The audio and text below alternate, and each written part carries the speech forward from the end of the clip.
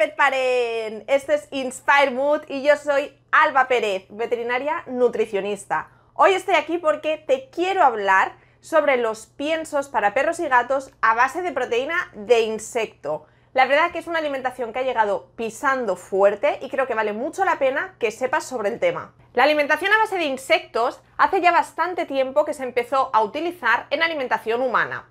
Los motivos han sido varios. Por un lado, sí que en alimentación humana se empezó porque, además de ser un tema exótico, llamaba la atención, pero también es cierto que la producción de insectos tiene un impacto medioambiental muchísimo más bajo que la producción de animales de granja. Debemos tener en cuenta que la principal fuente de emisión de gases de efecto invernadero son las granjas de vaca, es decir, las, todas aquellas granjas que son para la producción de ternera para la alimentación. Dentro de toda la producción de animales que sirven para el alimento, debemos tener en cuenta que un 20% son, destinados al consumo de animales de compañía, por lo tanto para la fabricación de piensos u otros alimentos para perros y gatos. Por lo tanto, apareció la idea de empezar a fabricar piensos y alimentación en las que utilizarían una fuente de proteína diferente a las tradicionales, en este caso la proteína de insecto. Debemos tener en cuenta que el impacto sobre el medio ambiente cuando estamos produciendo alimentos a base de insecto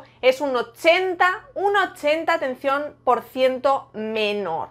Por lo que el, el impacto a nivel medioambiental, si conseguimos imponer bastante este tipo de proteína, va a ser increíble. Pero lo cierto es que no solo tiene importancia a nivel ecológico, que aunque sí que es verdad que es un factor súper importante, lo primero que debemos tener en cuenta es si es favorable para nuestros animales. Se puede hacer raro pensar que una fuente de proteína a base de insectos sea saludable para nuestros perros y gatos y nos puede chocar mucho, pero debemos tener en cuenta que es un tipo de proteína muy, muy saludable. La verdad es que si analizamos los piensos con proteína base de insecto, por ejemplo alguna marca comercial que utiliza como, como, fuente de proteína las larvas de la mosca soldado, vamos a obtener un porcentaje de proteína muy muy alto. El porcentaje de proteína y además proteína de calidad en los insectos es superior al porcentaje de las fuentes de proteína que se han utilizado tradicionalmente para los piensos de perros y gatos. Pero es que además el porcentaje de grasa es súper bajo cuando utilizamos una fuente de insectos para la alimentación. El porcentaje de grasas es bajo, pero es que además este pequeño porcentaje de grasa que vamos a estar incluyendo en el alimento son grasas de muy buena calidad porque contienen niveles muy elevados de omega 3 y omega 6, que al final son ácidos grasos esenciales, recordad la importancia de los EPA y de los DHA, y por lo tanto los beneficios para nuestros animales van a ser múltiples. Vamos a estar hablando de beneficios a nivel de la piel y del pelaje, puesto que los ácidos grasos omega 3 están principalmente implicados en esta parte del organismo. Por lo tanto, para todos aquellos perros o gatos con pieles sensibles, pelajes complicados o bien con alergias, va a ser una fuente de alimento ideal. Además, por supuesto, en aquellos animales que padezcan problemas cardíacos, problemas de obesidad o bien problemas con el, colesterol o la tiroides, va a ser un alimento ideal porque vamos a estar hablando de una fuente de proteína muy baja en grasa y con una grasa muy saludable. Por lo tanto, vamos a conseguir controlar muchísimo mejor el sobrepeso, vamos a conseguir reducir los problemas cardíacos por el omega 3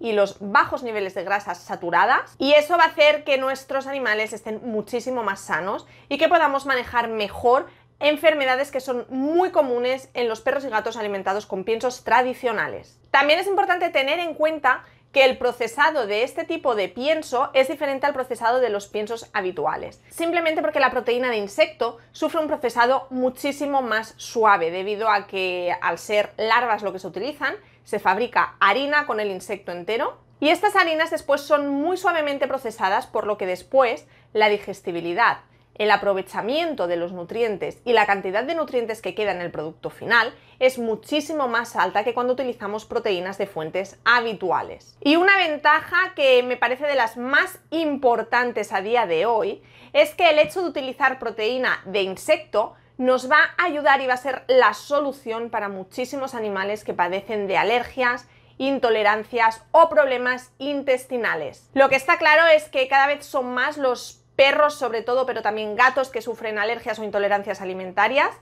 Una de las causas seguramente es el uso abusivo de procesados y de fuentes de proteína de mala calidad y puede ser una solución para los perros y gatos que aún se alimentan con pienso pasar a un alimento con fuente de proteína de insecto.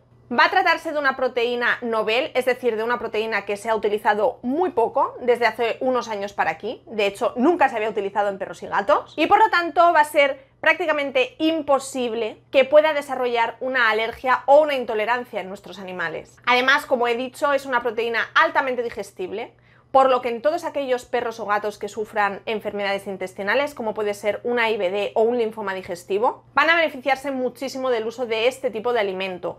Lo que sí que no debemos olvidar es que, aunque sea un pienso con proteína base de insecto, nos hemos de fijar en que la calidad sea buena.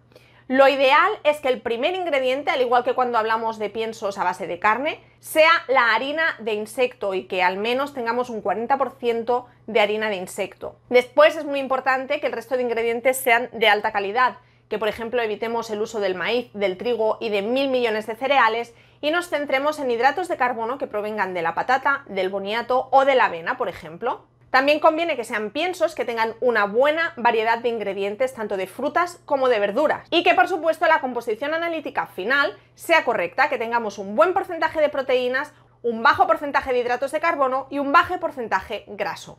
Me gustaría recomendaros en este caso una marca en concreta y es la marca Iora. Yo la he utilizado, la verdad que estoy muy contenta. Hay muchas otras marcas que también son buenas, pero de momento con la que tengo experiencia con mis pacientes es con Iora. Me ha funcionado muy bien para los pacientes con alergias e intolerancias y también con algunos pacientes que sufren de IBD.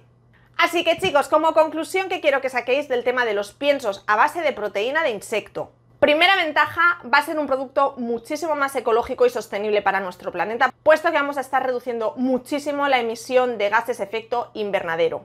Por otro lado, va a ser una fuente de proteína de altísima calidad y sobre todo una fuente de grasas muy, muy saludables como son los ácidos grasos esenciales omega 3 y omega 6. Y por último, pero no menos importante, van a ser especialmente útiles en aquellos animales que padezcan de alergias, intolerancias alimentarias o tengan cualquier tipo de problema digestivo. Así que paren, hasta aquí el vídeo de hoy. Creo que este tema es súper interesante y espero que de verdad te haya resultado muy útil. Si te ha gustado este vídeo, te animo a que sigas descubriendo todo el contenido que tenemos preparado en Inspire Mood para ti. Solo me queda por decirte que nos vemos muy pronto con más contenido útil para que cuides mejor de tus perros o de tus gatos. ¡Hasta pronto, PetParen!